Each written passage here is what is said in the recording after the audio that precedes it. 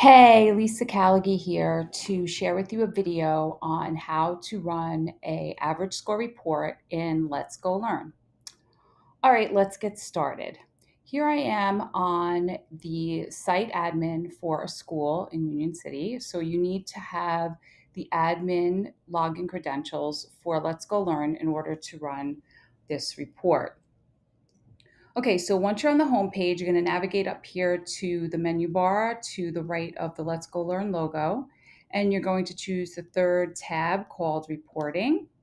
And from that drop down menu, you're going to choose Data Portal.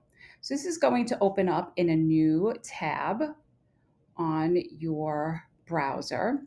So from here, you're going to come up to the top to the tabs here to the right of the Let's Go Learn logo, and you're going to choose the second tab called Reports. Okay, so from here, you have a drop-down window, um, a drop-down bar to select the report, and we're looking at or looking for the average scores report. Clicking on that, then selecting average scores, clicking continue.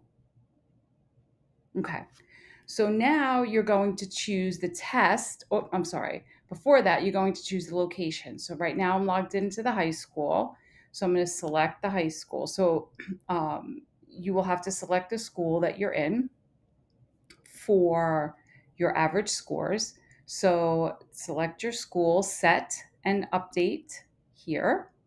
Then come down to the test and choose the test that you're looking to run the average scores for. Let's choose Dora.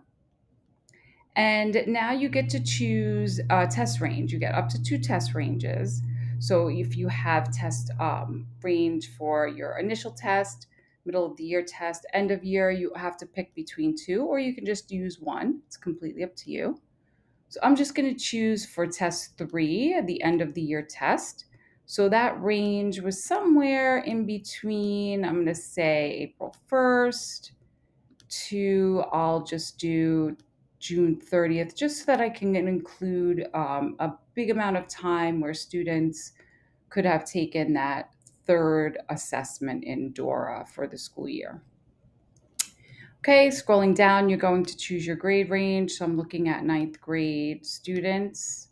So start and end with ninth grade, and then I'm going to click on to begin to run the report. Okay, your report will display here on the right-hand side of your, um, your data slide here. So that way you're able to see what you selected.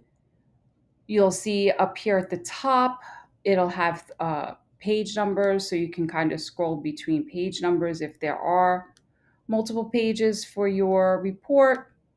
And then lastly, if you need to download this report, you're going to click on the icon here that looks like an old floppy disk and choose the type of file you'd like to download. Most of the time, it'll either be an Excel or a CSV, um, and then you can download your report.